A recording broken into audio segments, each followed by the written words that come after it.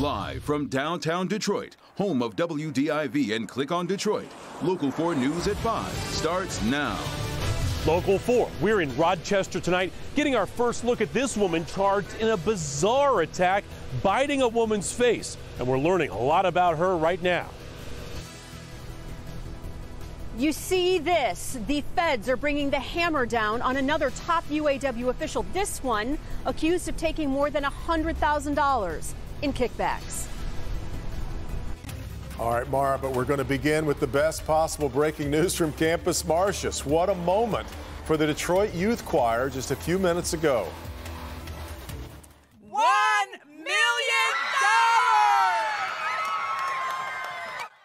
I hope you were watching this live as it happened just a short time ago on Local 4. The Detroit Youth Choir getting its own $1 million prize, which of course they thought they missed out on oh. on AGT. They were the AGT winners in our hearts, and now they got the money to match. This is just an impressive story. Keeps getting better and yeah. better every day. The look on all those faces, an absolutely amazing moment. Let's get right back out to Campus Martius Park and our Kimberly Gill and Paula Tutman. What an afternoon, ladies.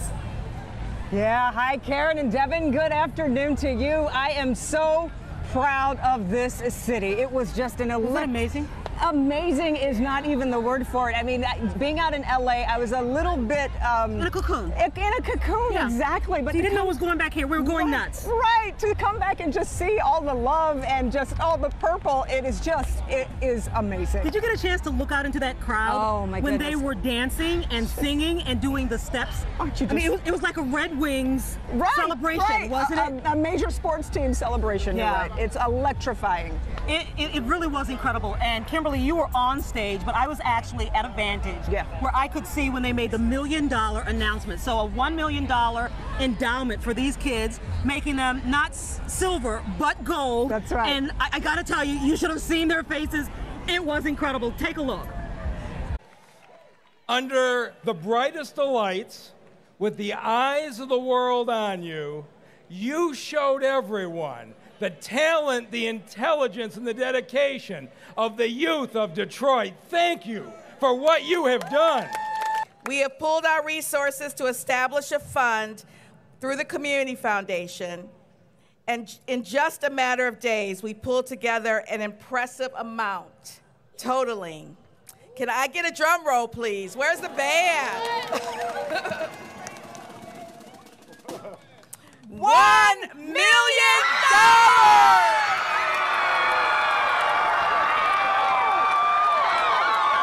For this organization for more than 20 years. It means so much to these students. Hard work, sacrifice. We got a million dollars. It's, it's surreal. What's going through my mind is like, it can't be. It's, it's not possible. No way.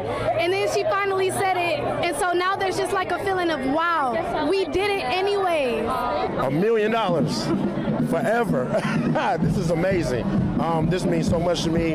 I love you, Detroit. Thank you, thank you for your support. I remember when we were in that tiny church in the basement, and it was a, such a small group, like 12 of us, and now it's 52 plus of us working so hard with everybody behind us. I just want to thank you.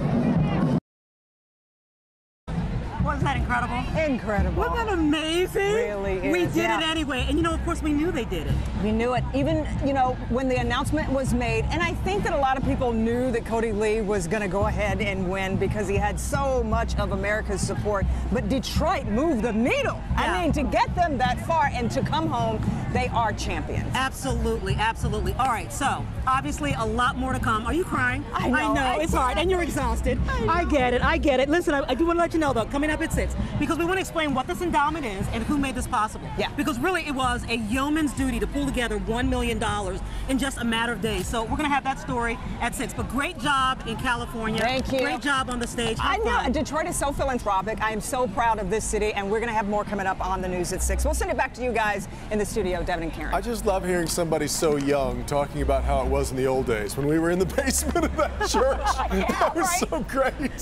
Fantastic. All right, you guys, we'll be back to you again here soon. Uh, It feels really good starting a Friday Oh, off on a yeah, great exactly news story right. like that. Man, it's great. Well, you can see it obviously from the live shot from Campus Martius. It is a beautiful and sunny start to the Mhm. weekend.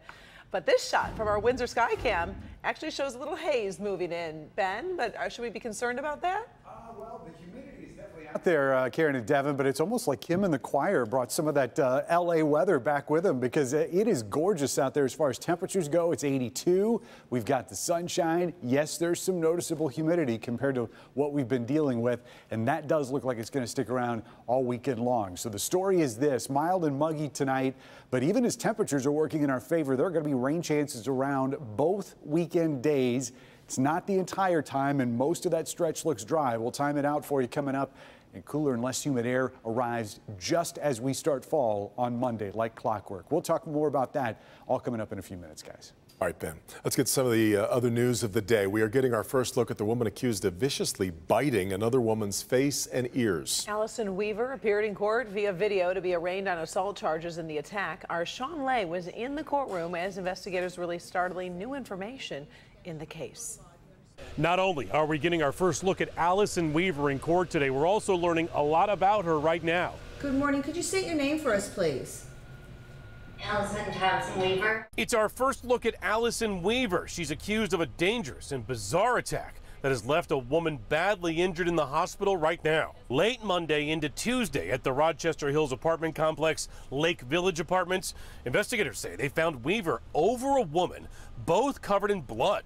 Deputies say Weaver allegedly bit the ear off of the woman, and there were bite marks all over the woman's face. Apparently, after the woman fended off sexual advances from Weaver. Who is Allison Weaver? We learned a lot about her in court today. She's 48 years old, divorced. She has a seven year old child that she does have full custody of. She did report full time employment in human resources at ACRO um, in, uh, in Livonia for the past 10 years.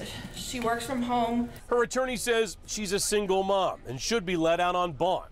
Gainfully employed, single mom, member of our community her entire life. This is an isolated incident, Judge. She's never been in trouble before, no prior criminal history. But investigators on the case spoke up. I'd respectfully uh, would like to ask for a high cash bond, a minimum of $200,000. saying the victim here is badly injured and is still in the hospital. They're asking for a high bond and serious limitations on Weaver if she is released on a tether. I know the victim is still in the hospital. I'm not sure when she's getting out, and she has several, several serious injuries. We're live tonight. Allison Weaver given a $75,000 bond from the judge. If she makes that bond, she'll have to wear a tether with a long list of re- restrictions that include Karen and Devin, no alcohol, no drugs, no weapons, no contact with that victim who's recovering tonight. Back to you. Shawn, such a bizarre and really horrific story. By doing some of your research, were you able to find out was there a motive for this attack? Investigators still looking into that. The judge even brought it up, saying she ordered a uh, medical examination for her, a forensic medical examination for her mental health status, also a toxicology exam that was already being done. She wants to see those results to see if any of that played a role in any of this to find out what was really going on. And obviously, we're thinking about the victim in this case and hoping she has hopefully a speedy recovery. Thank you, Shawn. Absolutely. Let's now get to day five of the UAW strike on General Motors, and the big story is happening nowhere near the negotiating table. Let's get you caught up. Talks resumed around 9:30 this morning, with the sides said to be making some progress toward a deal. UAW members, though, holding the picket line at GM plants across the U.S., and as a result of the strike, auto suppliers are now being forced to lay off workers as well. Overshadowing today's negotiations, a brand new indictment in the corruption scandal that has rocked the top echelon of the union. The indictment marks the 11th current or former UAW official to be accused of corruption. Jeff Pietrzyk served as a former top aide to UAW Vice President Joe Ashton. Let's get to Mara MacDonald. And Mara, this could not have come at a worse time for the union. Karen, I'll tell you, this is the criminal information on this case, and what's detailed in here is grim. Let me show you. Jeff Pietrzyk was the former top aide to UAW Vice President Joe Ashton, and the feds say he spent years bilking UAW vendors for kickbacks. As detailed in the federal criminal case, it worked like this The UAW had a vendor for watches. That vendor was then expected to give kickbacks to top UAW brass. In this case, the allegation is Jeff Pietrzyk was getting checks from the vendor for various amounts, usually $25,000 a shot, that were being represented as being for antique furniture. There was no furniture. It was strictly a cash payment. The criminal information against Pietrzyk also details kickbacks given to another UAW official described right now as Union Official 1, who is believed to be Ashton himself, totaling more than $550,000. Meanwhile, this Sunday, the UAW is calling for what they say is Solidarity Sunday. They're asking for UAW membership to show up at those GM picket lines to show their solidarity for those workers who are on strike. We're live downtown tonight at the federal courthouse. I'm Mara MacDonald, Local 4 timing. All right, Mara. Not that you needed any, but there's new proof Detroit gas stations are a top target for thieves. New tonight, what makes this smash and grab right here so scary and different from so many others. And from Australia to Ann Arbor, the issue that had millions of people around the world taking part in protests. But first, a mystery unfolding tonight in Dearborn after a woman dies in the middle of a field. That's next.